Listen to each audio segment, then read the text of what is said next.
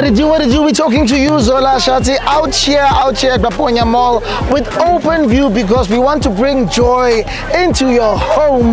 Yes, 11 years later, we are here. We are bigger, we are better. Let's go see what Soweto has to offer.